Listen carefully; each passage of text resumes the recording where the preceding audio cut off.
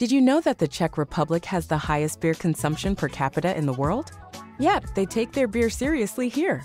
And speaking of serious, Prague Castle is the largest ancient castle in the world, covering over 18 acres. But wait, there's more.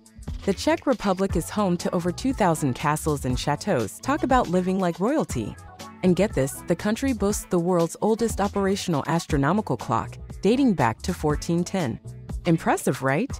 Oh, and let's not forget about the famous Czech crystal, renowned for its quality and craftsmanship. Plus, the country is a powerhouse in ice hockey with a strong tradition and passionate fans. So, whether you're a beer lover, history buff, or sports enthusiast, the Czech Republic has something for everyone.